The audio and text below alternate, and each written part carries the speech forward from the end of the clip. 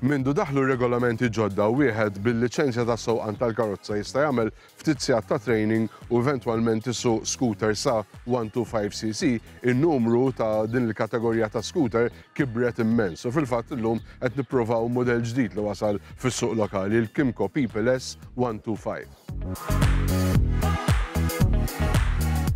Il-Kimco f'ħafna swieq ikkonsidrat il-market leaders fejn jidħlu scooters żgħar u allavolja scooters bħal People ilu joħroġ ħafna snin, hawnhekk qed inħarsu lejn mudell kompletament ġdid.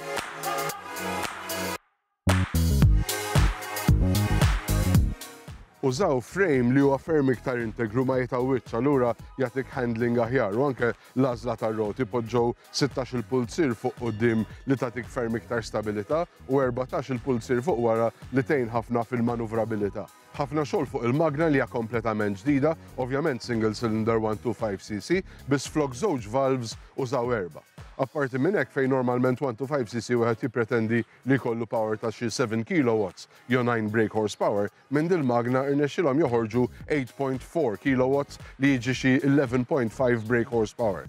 Dan jgħin għax il-magna daqsxejn iktar xxamplata. Fil-fatt bħala konsum qed jgħidu konservitivament li dan l-iscooter suppost jagħti xi 156 kilometru b'kull gallun ta' petrol, imma apparti minn hekk il-fatt li iktar xxamplata għandek inqas wear and tear, u aktar smoothness waqt is-sewqan.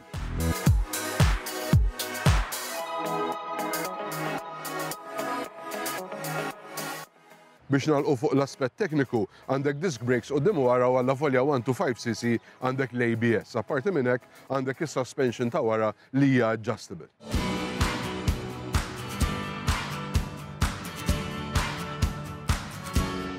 Il-Kimcot impjega primarjament designers Taljani għax taf li mill-pinna tagħhom ħa toħroġ linji eleganti u sbieħ, apparti minn hekk hemm il-prattiċità wkoll li wieħed irid jikkonsidra meta qed jiddiżinja skuter bħal dan u l-People S huwa primarjament iffokat fuq prattiċità. Għandek il-linji li jinkludu s-sistema tad-dawl, l-aktar teknoloġija riċenti, kollox LED, kemm il-headlamp, l-indicators u anke l-cluster ta' wara, u apparti minn hekk għandek il-dash li huwa kompletament digital.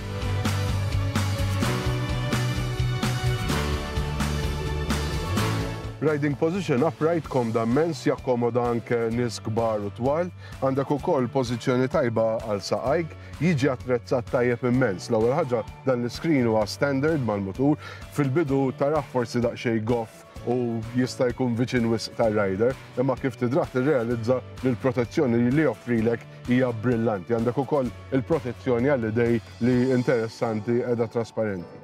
Ma' dan il-mutur jiġi t-top case li hija tal-Kymco, allura tuża l-istess ċavetta tal-ignition biex tiftaħ u ssakkar. Mod prattiku, miċ-ċavetta tista' jew tibqa' sejjer lejn din in-naħa u tiftaħ il-fuel tank li qiegħed baxx ħafna biex jgħin iżomm is-center of gravity baxx, jew inkella jekk iddawwarha n-naħa l-oħra tirreleasja s-seat kif innotajtu jiftaħ waħdu u tirrealizzaw li l-ispazju hawn taħt huwa verament ġeneruż. Ovvjament għandkom ukoll kif għadt it-top case li hija inkluża mal-mutur hawn kollox jinfetaħ u jingħalaq. Għandek USB prattiku hawnhekk jekk trid tiċċarġja mobile għandek il-ganċ li jirrisessja kompletament imma meta tiftħu tista' dendel basket għandek dan il-compartment żgħir hawnhekk jekk trid iżomm kartiera jew mobile u hemm USB ieħor taħt is-sit.